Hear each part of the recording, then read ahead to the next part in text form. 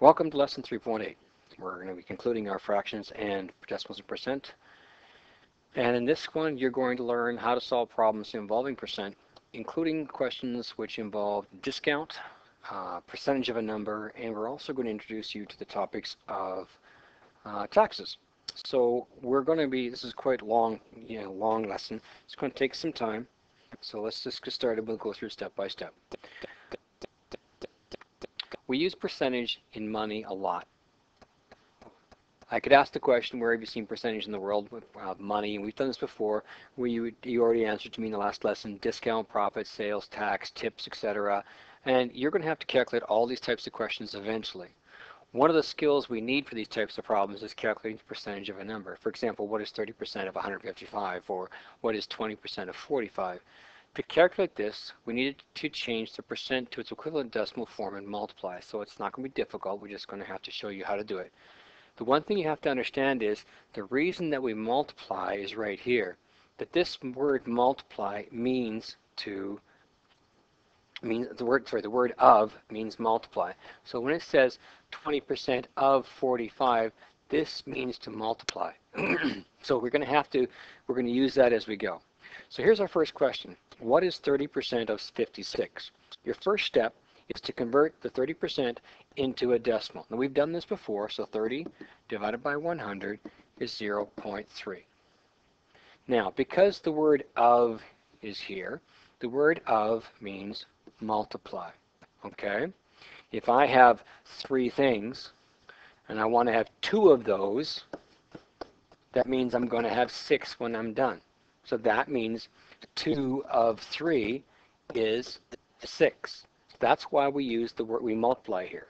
So now, what is 0.3 multiplied by 56? And you're going to use your calculator for this. You're not going to be expected to do this by hand. And that gives you 16.8. Now, whatever the unit is that you're working with here, That's the unit you're going to be including. So this was 30% of $56, your answer would be in dollars. This is 30% of 56 kilograms, your answer would be in kilograms. Because there's no unit given here, the answer is just simply 16.8. You can use the word units if you want, but in most cases we just leave it as 16.8. So if you take a look here, we did two things. You converted your percent into a decimal, and you multiply your decimal times the number. So let's see if you can follow those steps in this example right here. So pause the recording and find out what is 82% of 287. Okay, so 82% has got to be converted to a decimal. So 82 divided by 100 is 0.82. So now 0.82 has to be multiplied by 287. Okay, so that would give us 235 0.34. So 82% of 287 is 235.34. So turn the page. I want you to do 75% of 21. So pause the recording and do that question. Okay, so here's the next step. 75% of 21, first thing you do is change 75 into a decimal. So you divide by 100, you get 0.75. Then you take 0.75, you multiply it by 21. And 0.75, using your calculator, is going to give you 15.75.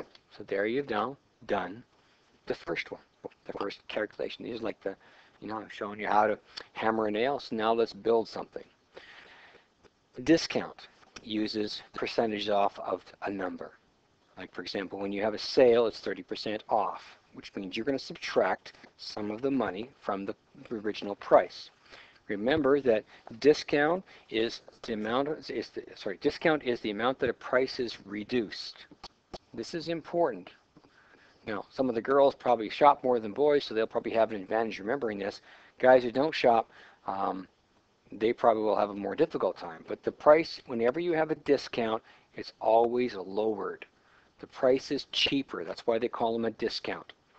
And it's usually given as a percentage off. So for example, 25% off or 30% off. A typical question looks like this. A coat is on sale for 30% off.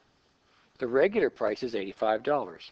what's the discount and what's the new price. To do this, the first thing you need to do is to find out what 30% in this decimal form is. Okay, so 0. so 30% divided by 100, that's 0.3. And I kind of messed up here. I put it in the question down here. So now that you've got 30% in into its decimal form, you have to multiply that by the price of the coat to find out what the discount is, because you want 30% of it. So this becomes 0.3 times $85. That means that this coat is going to be $25.50 off. Now remember, that's the discount, okay? That's how much it's reduced by, okay?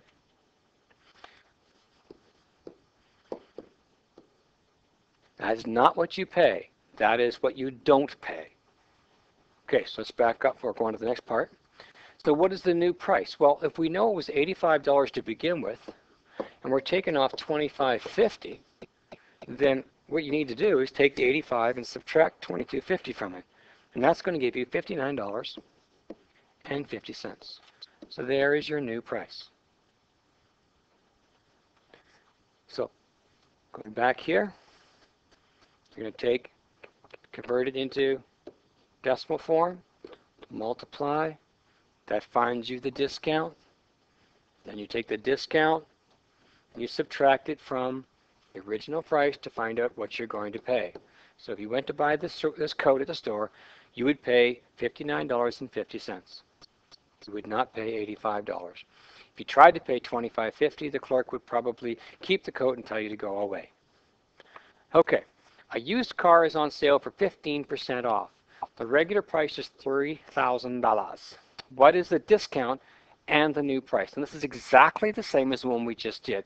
Instead of 85 bucks, I have 3,000. Instead of 30% off, I have 15% off. So pause the recording and do this question.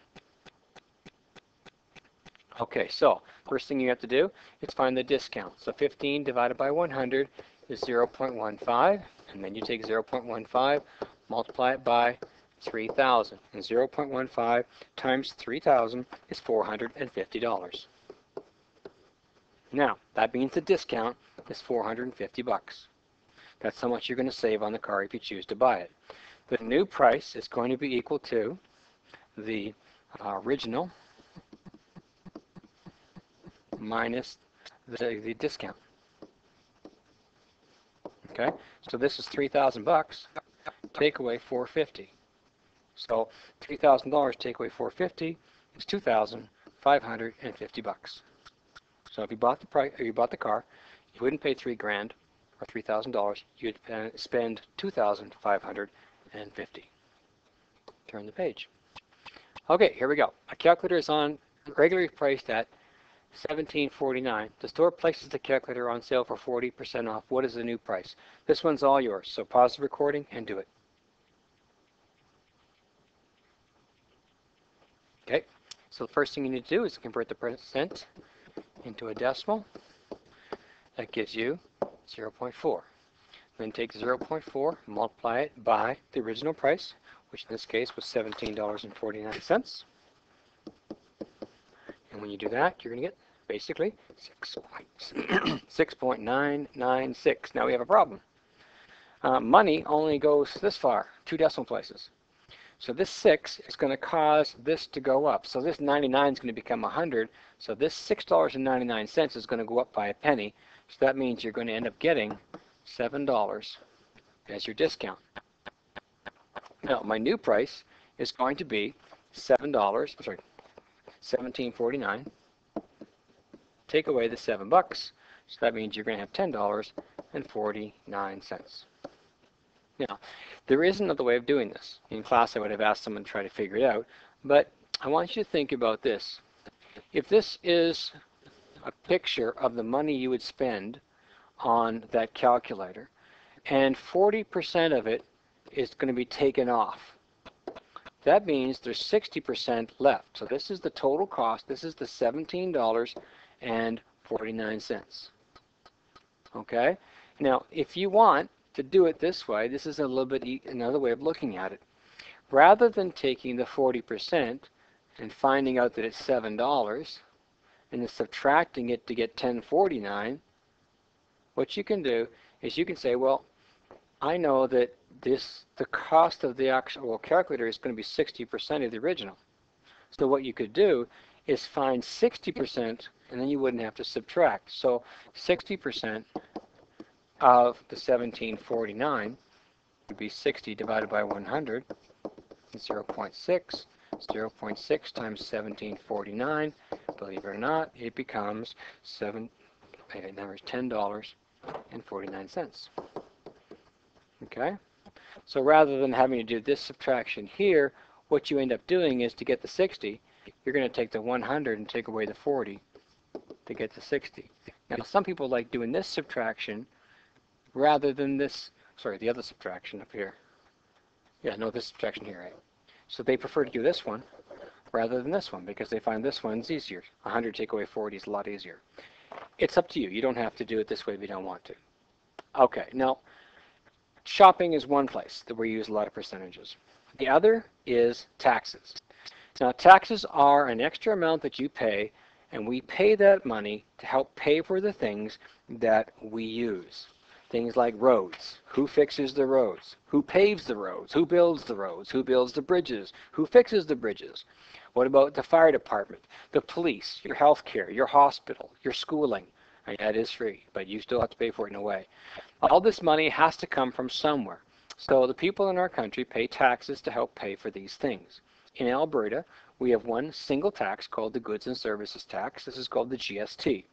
It used to be 7%, many years ago, and now it's been reduced down to 5%. Other provinces, um, in other provinces, there's another tax called provincial sales tax. So they have two taxes. They have a government tax. This is federal. This is from Ottawa. That's 5%. And then their, their province throws another tax on top of it, so they get taxed twice. Now in Alberta, we don't do that. We only have one. Okay? All taxes are added to the price of an item you pay. So they increase the price. That's why a lot of people think taxes are bad. GST is bad. I wish we didn't have it. Well, if you don't pay GST, look at the things you have to do without. Now, you may not worry about this one, but I bet you next time you're sick or uh, in trouble and you want to go to the hospital, you know, you might want to think of it, uh, think it over. The average cost of having a baby in the states right now is right around eight thousand bucks, and if you don't have a health care plan, you have to pay eight thousand dollars out of your savings. In Canada, you can have that baby basically for free, depending on on how things work out. But in most cases, it's always free. So taxes are a good thing, but you always add them. Discount is subtracted. Uh, taxes are added on top. So if you paid a dollar you had 5% tax. 5% of a dollar is 5 cents, so you're going to end up paying a dollar and 5 cents. Okay, so something costs a dollar, you pay a buck 5. So let's take a look at a question. A desk is sold at Office Depot for $450. What is the GST and what is the total price? Now, GST is always 5%. It never changes. So just like we had 30% off or 15% off, 5% is added on, so you still need to find 5% of 450. So your first step is to convert 5% into a decimal, and it's 0.05. Then you're going to take the 0.05 and you're going to multiply it by 450. Doesn't this sound familiar? You'll notice that all the percentage calculations, they're always the same. Nothing changes. Okay? That means that the GST on this desk is $22.50. Okay, so there's your GST, 2250. Now remember that the total cost is going to be the cost of the price, price of the item plus the GST. So this was a $450 uh, desk, and you're going to pay 2250 for your GST. That means you're going to pay 472.50 when you add them up, add them together. Okay, so turn the page. Here is a simple question. Instead of using a desk, I've used a freezer. So pause the recording and do this question. All right, so now that you have it completed, a freezer is $859.59. The GST uh, has to be calculated. And remember, GST is always 5%. It never changes. It's always going to be 5%. I guess that's not working right. Okay, so first thing, 5 divided by 100 equals 0.05 and 0.05 times 859.99. Now this looks very familiar, doesn't it? Just like we did a minute ago. You're going to get 42.9995. Now we have a problem, don't we? Remember, money only goes this far. So this 99 cents is going to be increased by a dollar, so you're going to, sorry, by a penny, so you're going to get $43. So rounding this to the nearest cent gives us $43. So what is the cost? Well, the total cost is going to be the 859.99 plus the 43, which means you should have had $902.99 as your final cost. Okay? Try this question.